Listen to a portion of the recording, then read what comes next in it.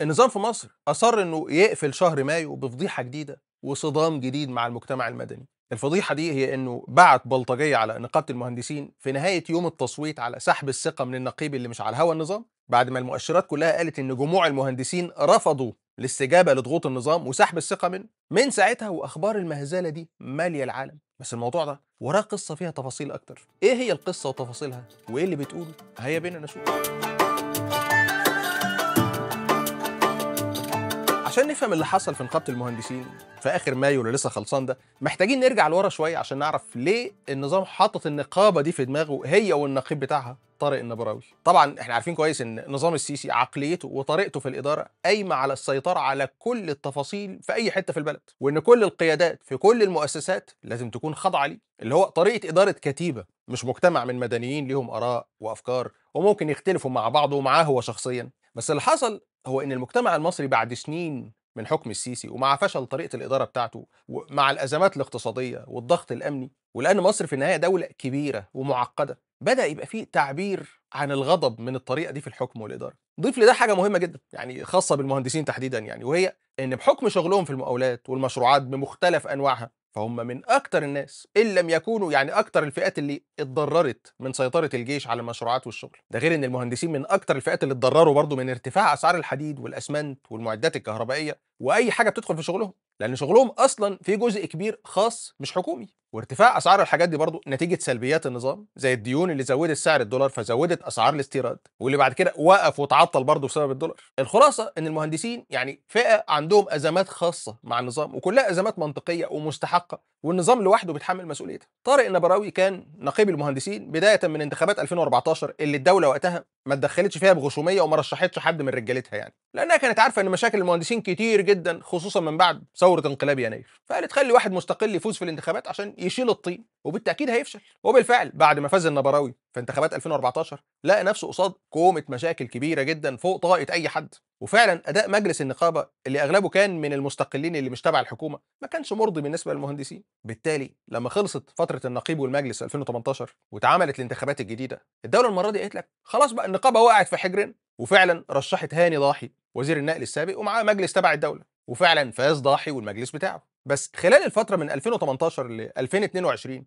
كل سلبيات النظام اتضحت ومشاكله مع المهندسين وغيرهم كبرت بسبب سيطرة الدولة والجيش على كل حاجة في شغلهم. بالتالي المهندسين غضبوا من هاني ضاحي والمجلس بتاعه. خلال فترة قيادة هاني ضاحي لنقابة المهندسين حول النقابة تقريبا لجهاز من أجهزة الدولة. وحتى الشغل في لجان النقابة بقى مقتصر على أهل الثقة والمرضي عنهم امنيا. نتيجة ده لما جه موعد انتخاب نقيب جديد للمهندسين في مارس 2022 بعد ما الشعب كله كفر بالسيسي وسياساته مش بس المهندسين النظام رشح تاني هاني ضاحي وفي المقابل اترشح من تاني طارق النبراوي. وفعلا كانت انتخابات مارس 2022 مصارعة قوية بين رغبة النظام ورغبة عموم المهندسين. ورغبة المهندسين كان تأثيرها أقوى فاتعملت جولة إعادة نجح فيها النبراوي وبقى نقيب المهندسين الجديد ضد رغبة النظام بفرق حوالي ألف صوت عن ضاحي من لحظة فوز النبراوي يعني الأمور معاه ما كانتش سالكة لأن النظام ما سابوش يشتغل بحرية وزرع له في مجلس النقابة أغلبية أعضاء هم أصلا أعضاء في حزب مستقبل وطن وكلنا عارفين يعني إيه حزب مستقبل وطن فوز طارق النبراوي تقدر تعتبره باختصار ضربة مدنية للنظام من فئة مهمة جدا وهي المهندسين.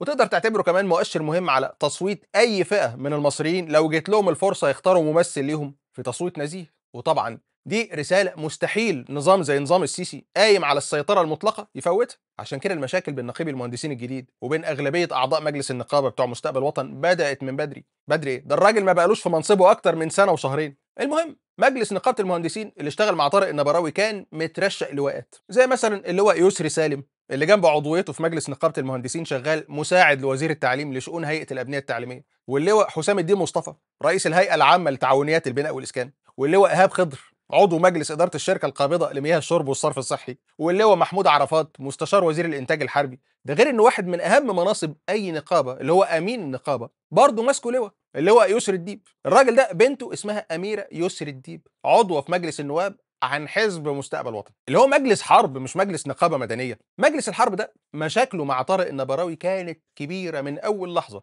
واصطدم معاه كذا مرة. من أهم أسباب الصدام إن مجلس النقابة اللي مليان لواءات حاول يتعامل مع نبراوي بنفس طريقة تعامل اللواءات مع كل حاجة في البلد. يعني هنديك أوامر وأنت تنفذها. فمثلا في يونيو 2022 اللواء يسر الديب ده أصدر أمر لطارق النبراوي إنه يلغي التعاقد مع المستشار القانوني للنقابة. النبراوي طبعا اعتبر إن ده تدخل في اختصاصه وبالتالي دعا لاجتماع هدفه إقالة أمين النقابة اللي هو يسري الخلافات بين طارق النبراوي وأعضاء مجلس النقابة كان فيها حاجات غريبة كده تحسسك إننا في أي حاجة تانية غير إنها تكون دولة. يعني مثلا الشهر اللي فات اتفاجئ النبراوي إن مجلس النقابة أصدر قرارات بقبول عضوية مهندسين جدد. المشكلة إن المهندسين دول واخدين شهاداتهم اونلاين من جامعات بره وإن الشهادات دي مش معترف بيها في مصر. والنكتة بقى إن بعض المهندسين دول كانوا أدبي في الثانوية العامة وبعضهم واخد دبلومات فنية واشتروا شهادات الهندسة اونلاين من خلال دراسة شكلية كده في جامعات يعني في بير السلم. قمة التوتر والمشاكل بين طارق النبراوي وبين مجلس النقابة حصلت في مارس اللي فات لما مجموعة مهندسين قدموا مقترحات لمجلس النقابة بهدف تطوير الأداء وخدمة المهندسين. عشان المقترحات دي تتناقش في الجمعية العمومية مجلس النقابة اللي أغلبه لواءات من حزب مستقبل وطن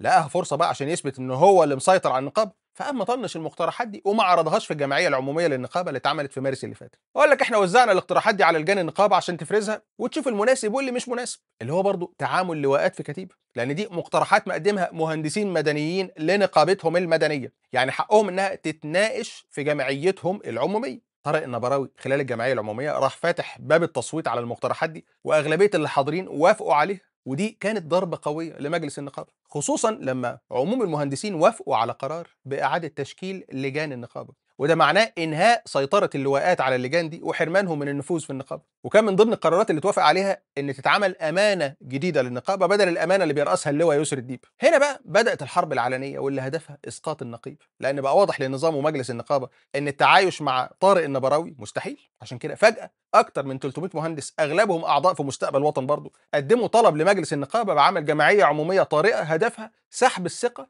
من النقيب طارق النبراوي ومن المجلس كله. على أساس يعني إن ما يبانش إن المستهدف هو النقيب لوحده. بس لما مجلس النقابة عمل اجتماع لمناقشة الطلبات دي ظهر فجأة برضو أكتر من 1900 طلب من مهندسين لسحب الثقة من النقيب لوحده والابقاء على المجلس. النهارده في 1960 واحد طلبوا سحب الثقة من السيد النقيب وإحنا يعني نظمنا هذا الكلام طبقا للقانون إنما لا يعنينا النتيجة تطلع إيه؟ ده لواء تاني وهو وكيل النقابة اسمه حسام رزق. طارق النبراوي ما حضرش الاجتماع اللي اتناقشت فيه طلبات سحب الثقة. وخلال الاجتماع ده مجلس النقابة عمل لعبة كده وافق فيها على طلبات سحب الثقة من النقيب بس وطنش طلبات سحب الثقة من النقيب مع المجلس. وبكده اتقرر عمل جمعية عمومية لسحب الثقة من النقيب واللي حصلت فيها الفضيحة وقفلها البلطجية. من وقت اتخاذ قرار الدعوة لجمعية عمومية لسحب الثقة من طارق النبراوي لغاية ما اتعملت في آخر مايو اتحول الحشد المتبادل بين عموم المهندسين من ناحية وبين أنصار حزب مستقبل وطن جوه النقابة في الناحية الثانية لمعركة بين استقلال قرار المهندسين وبين سيطرة النظام على نقابة المهندسين.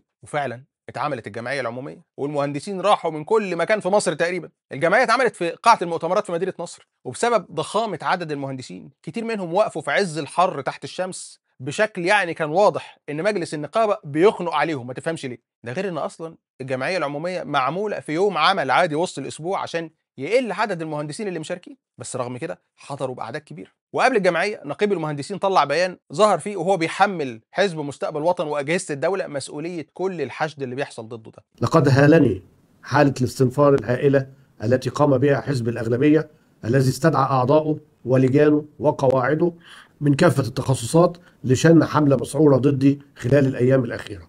مستعينا بأجهزة الدولة وبعض الوزارات لمحاولة توجيه إرادة المهندسين بأسلوب الضغط والترهيب والترغيب. والجميع يشهد على هذه الإجراءات وهذا الاستنفار في كافة محافظات الجمهورية. من أول ساعة للتصويت كان واضح إن الرأي العام وسط المهندسين ضد سحب الثقة وده كان انتصار واضح للنبراوي والاستقلال المهندسين وحجم المشاركة كان كبير لدرجة إن التصويت اتمد نص ساعة زيادة بعد انتهاء الموعد الرسمي اللي هو 7 مساء. بالشكل ده مع بداية فرز الأصوات بالليل بقى مؤكد إن المهندسين رفضوا سحب الثقة من طارق النبراوي ودي كانت ضربة جديدة وقوية للنظام ومستقبل وطن ومجلس النقابة. ورغم إن اللي كان بيشرف على التصويت والفرز وإعلان النتيجة لجنة قضائية مكلفة من لجنة الانتخابات في النقابة إلا إن مع نهاية اليوم بدأ يظهر اللعب من اللجنة القضائية بالتنسيق مع أعضاء المجلس الموالين للنظام. لأن بدل ما اللجنة القضائية تعلن نتيجة التصويت بمجرد الانتهاء من الفرز مطلت في إعلان النتيجة. أعضاء مجلس النقابة من اللواءات وأنصار النظام ما كانوش موجودين بكثافة خلال الفرز بس على ما فرز الأصوات كان قرب يخلص خلاص دخلوا القاعة فجأة وطلعوا على المنصة اللي عليها اللجنة القضائية يعني وخدوهم على جنب كده واتكلموا معاهم بشكل يعني مريب. قالوا لهم إن هم هيعملوا طعن على النتيجة. وبكده بقى واضح إن مماطلة اللجنة القضائية في إعلان النتيجة كان هدفه إن هم يستنوا أعضاء مجلس النقابة بتوع مستقبل وطن لما يوصلوا وياخدوا قرار. ده غير إن اللواء يسري الديب أمين النقابة طلب من اللجنة القضائية إنه يستلم نتيجة الفرز وهو اللي يعلنها. هنا اعترض رئيس لجنة الانتخابات في النقابة وقال إن هو اللي كلف اللجنة القضائية بالإشراف على التصويت والفرز وإن اللجنة القضائية هي اللي لازم تعلن النتيجة. والنتيجة زي ما قلنا كان واضح إنها اكتساح لصالح رفض سحب الثقة من طارق النبراوي. آه، انت انتخبت آه طيب ممكن أعرف آه، أنت ادلت بإيه بالظبط؟ طبعا أنا صوتت آه، ضد يعني لا لصاحب الثقة من النقيب مهندس طارق النبراوي ليه بقى؟ آه، بصي في في دلوقتي حاليا يعني زي آه، رأي عام كبير قوي توجه في شباب المهندسين من اللي حصل الفترة اللي فاتت وبقى واضح قوي مين معانا ومين ضدنا مين آه، بينفذ المطالب بتاعتنا ومين ضدنا. آه، طبعا القرارات الأخيرة بتاعت اعتماد آه، الناس الخريجين أدبي أو دبلومات بعد معادلات من بره أو إن هو يعمل معاهم مثلا مقابلة شخصية ويعتمدهم الكلام ده طبعا ده كله مرفوض يعني. معلش في ناس كتير بذلت مجهود عشان توصل لل للمكان اللي هي وصلت له ده وفي الآخر أنت تيجي تبص تلاقي مجهودك ضاع مقابل إن الناس بتعتبرك أو الناس المسؤولة بتعتبرك إن أنت مجرد أعداد هتدخل لهم بقى بالبيت بتاعك بقى فلوس سنويه أو إن هم يفتحوا معاهد خاصة يدخلوا لك بقى يدخل لهم هم سبوبة لنفسهم أو مصالحهم الشخصية. فضل الشد والجذب ده مستمر يعني لغاية حوالي الساعة 10 ونص بالليل لما طبعا أغلب المهندسين روحوا وما فضلش غير قيادات النقابة والمندوبين بتوع المرشحين وعدد قليل من المهندسين. وهنا فجأة الموجودين في القاعة سمعوا أصوات ضرب وخبط وشتيمة وتكسير جايين من بره وفي ثواني فهموا السبب. السبب هو إن في بلطجية ما لهمش أي علاقة بالمهندسين ولا النقابة ولا الانتخابات جم عشان يقولوا كلمتهم. البلطجية اقتحموا القاعة وكسروا الكراسي والصناديق وقطعوا الأوراق ورموها على الأرض واكتملت الفضيحة اللي العالم كله اتفرج عليها وسمع عنها. الفكرة إن الضابط أو الجهة اللي بعتت البلطجية حاولت تستذكى يعني عن طريق إن هم يخلوا البلطجية يهتفوا وهم بيكسروا القاعة. طارق هو النقيب. اللي هو لعبة عيالي قوي يعني. لأن لو أنا كسبان إيه اللي يخليني أجيب بلطجية؟ وبمجرد ظهور البلطجية في المشهد أعضاء اللجنة القضائية طلعوا يجروا من القاعة ورفضوا مناشدات المهندسين ليهم بإعلان النتيجة انقاذا للموقف. بالتالي البلطجية استفردوا بالصناديق وبالورق ونسفوا كل حاجة وضربوا حتى كم مهندس اللي حاولوا يدافعوا عن بعض الصناديق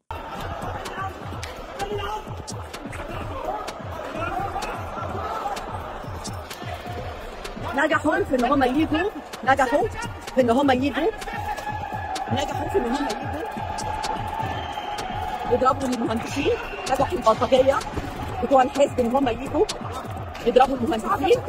يضربوا المهندسين. نجحوا.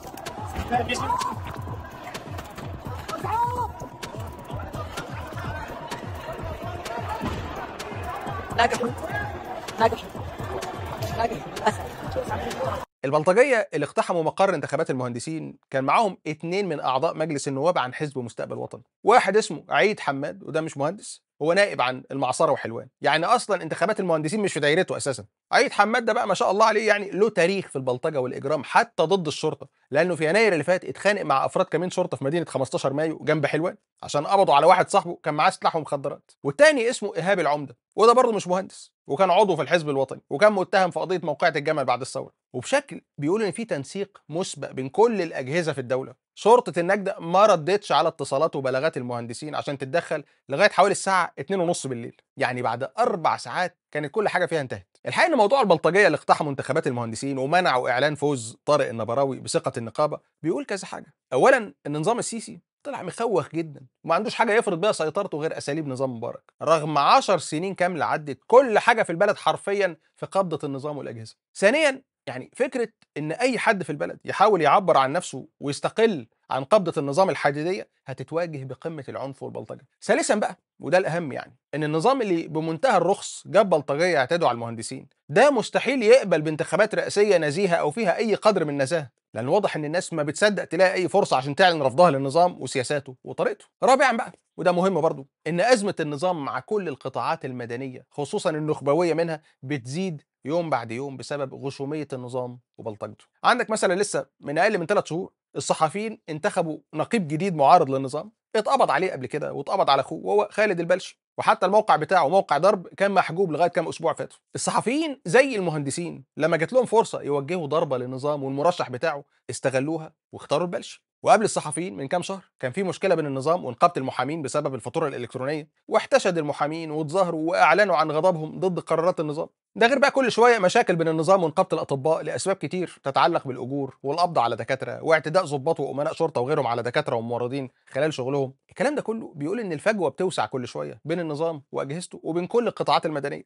وإن أي فرصة تظهر الناس بتستغلها عشان تقول للنظام إحنا زهقنا. المفروض إن الشرطة والنيابة بدأوا تحقيق يوم الخميس أول يونيو امبارح يعني في اللي حصل في انتخابات المهندسين. بس طبعا إحنا كمصريين فاهمين الأمور هتمشي إزاي. أو على الأقل تجاربنا اللي فاتت مع الأنظمة كلها بتخلينا متوقعين الأمور هتمشي إزاي. يعني غالبا هتوه الاتهامات حوالين مين اللي جاب البلطجية. وممكن تتعاد الجمعية العمومية عشان تدي فرصة لرجالة مستقبل وطن والنظام يحشدوا أكتر ويستعدوا أكتر. بس ده كله مش هيغير حاجة من الواقع اللي ظهر نتيجة التصويت على سحب الثقة من نقيب المهندسين وقبلها في انتخابات الصحفيين. وهي إن الكل قرف من سياسات النظام والعسكرة والبلطجة اللي بيدير بيهم البلد وإن القرف ده بيزيد وهيزيد وهيستغل كل فرصة متاحة عشان يعبر عن نفسه. ونشوفكم على خير إن شاء الله.